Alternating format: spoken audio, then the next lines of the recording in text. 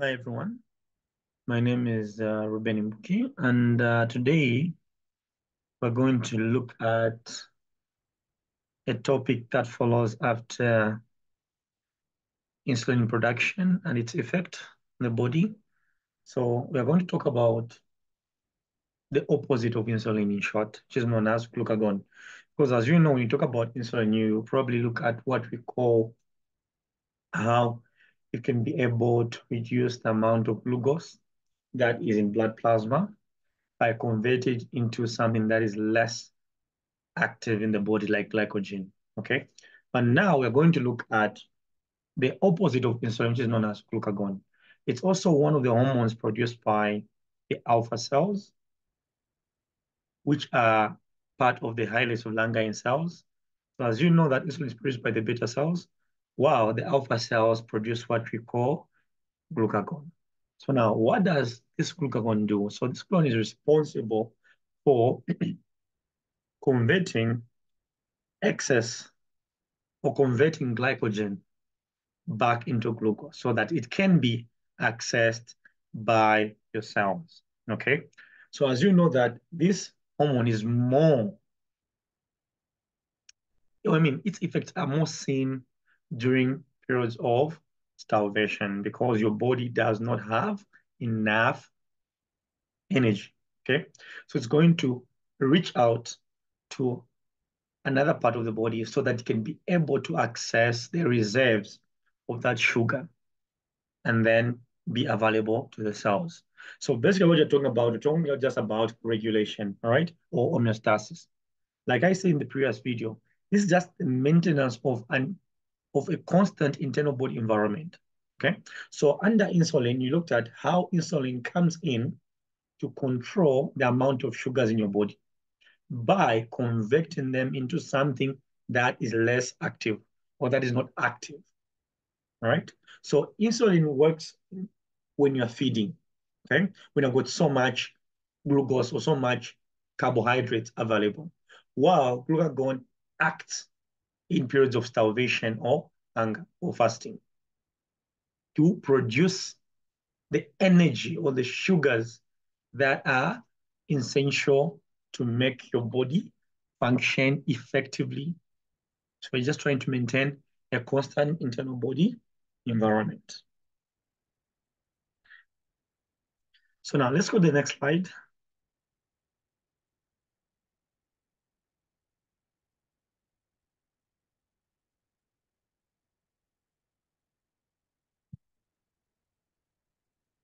All right.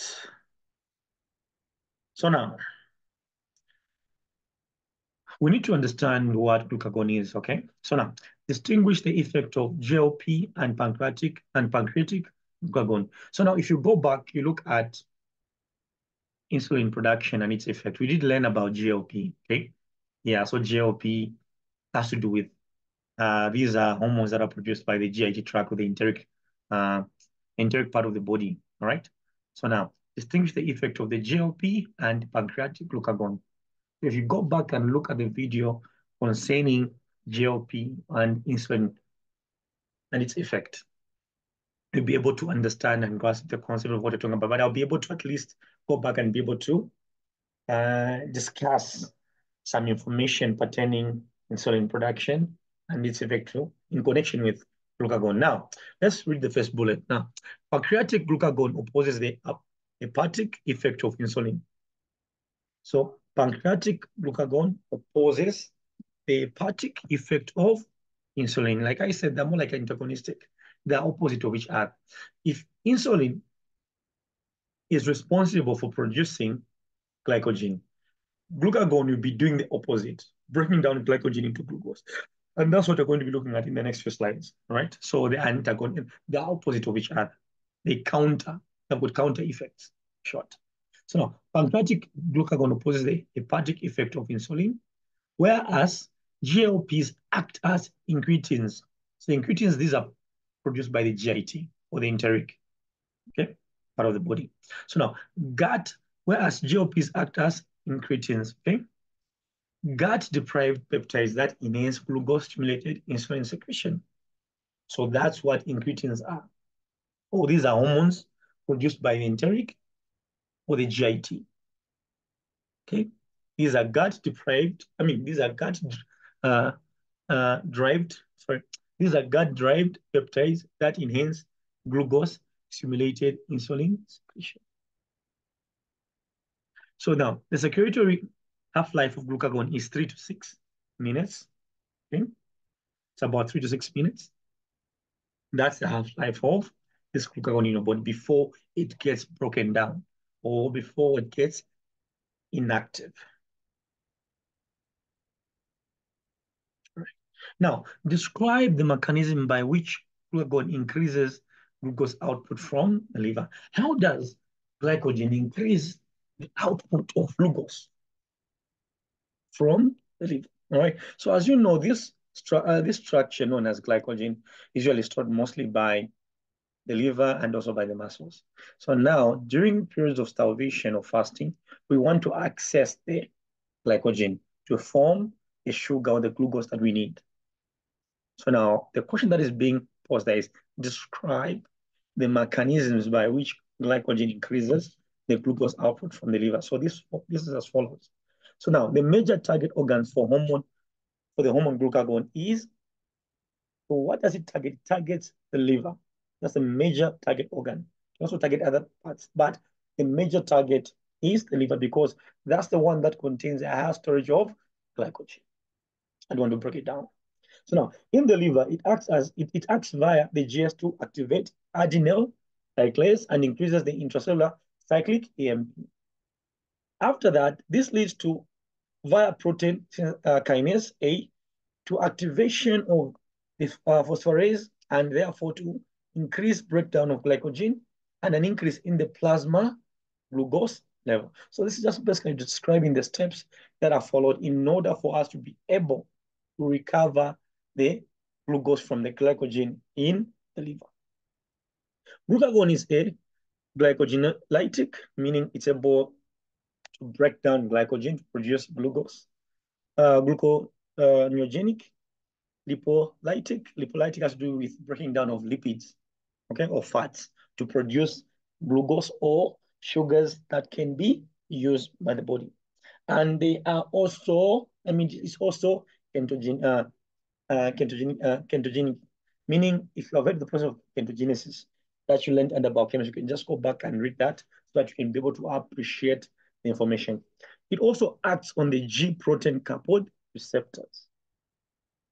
These are the things that like uh, uh, uh, I mean glucagon can be able to do in order for it to be able to produce or recover glucose at the end of the process because that's the major uh, product that we need. So this diagram is just trying to outline or show us the steps in which uh, glucagon can be able to produce glucose. So now, you need to take note. Let's go on. So now, it's saying the solid lines indicate facilitation or stimulation, right? Take note. While the dashed lines indicate inhibition, meaning preventing something or stopping something. So what you are seeing here is glucagon,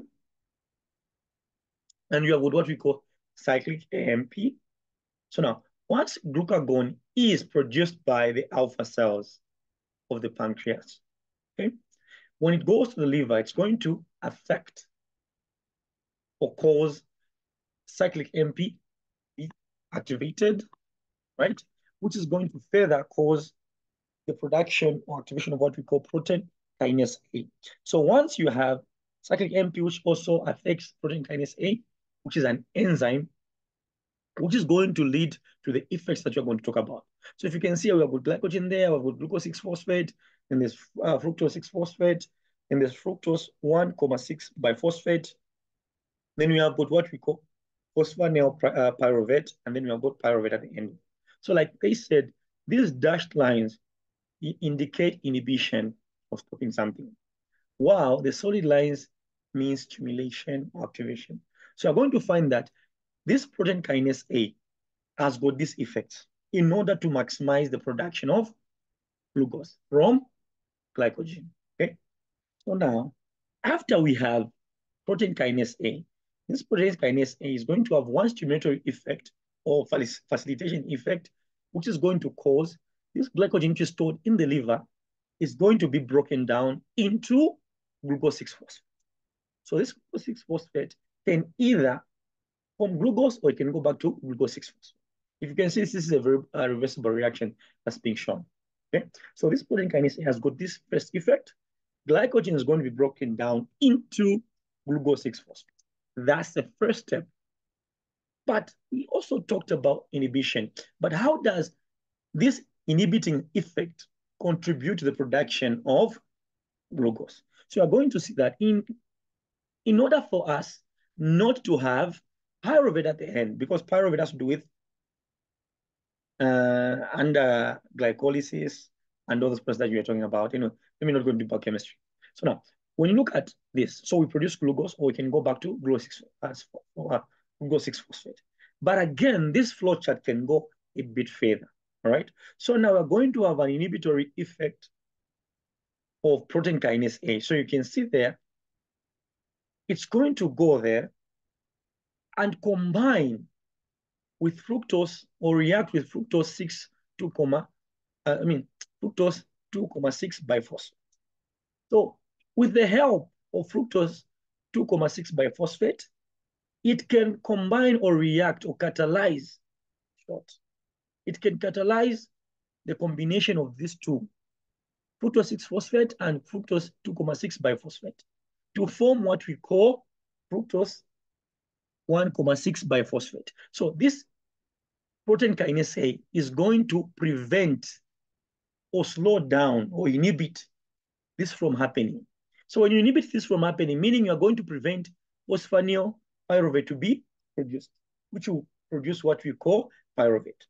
So this has got a mandatory function of slowing down or inhibiting this type of reaction. Then again, we are going to have another inhibitory type of reaction here between phos uh, phosphor, phosphoryl pyruvate and pyruvate. So once this goes there, it's going to inhibit this mechanism, hence preventing or causing us to have excess glucose in the body or in the liver or in the plasma. So this is the inhibitory effect and also the stimulatory effect.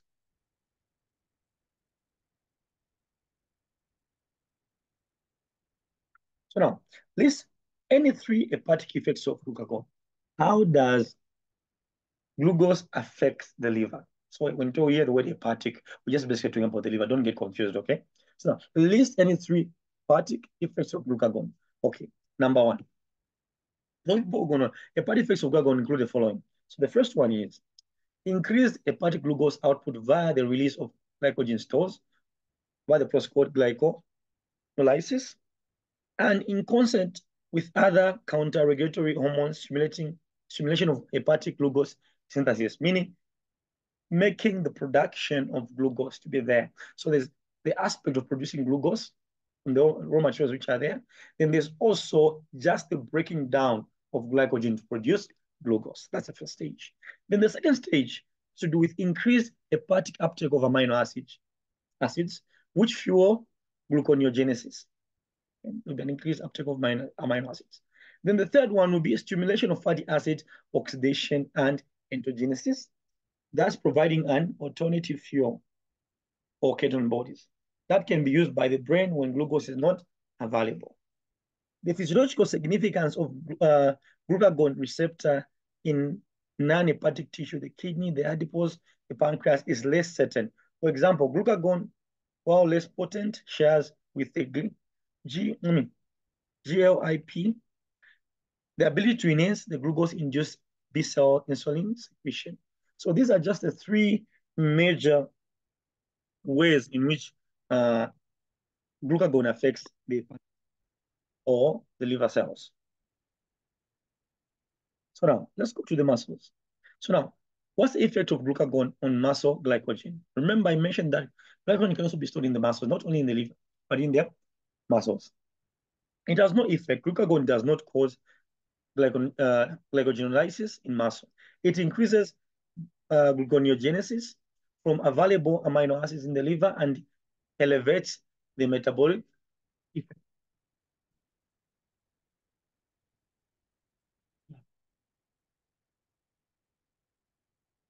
Yeah, the metabolic uh, metabolic effect that is happening there. So what's effect of glucagon on the heart? So, so large doses of exogenous glucagon exert a positive inotropic effect. Okay, increase contractility on the heart without producing increased my, myocardial excitability and presumably because they increase myocardial cyclic AMP. So use of this hormone in the treatment of the heart disease has been advocated, but there is no evidence for physiological role of glucagon in the regulation of cardiac function. So now what's the effect of glucagon on growth hormones, insulin and pancreatic somatostatin? So glucagon also stimulates the secretion of growth hormone, insulin, and pancreatic uh, uh somatostatin. So uh, in our next short lecture, I'm just going to talk about applied physiology, which has to do with the effects or the diseases that come about when someone is has got either under secretion of insulin or glucagon. Thank you very much.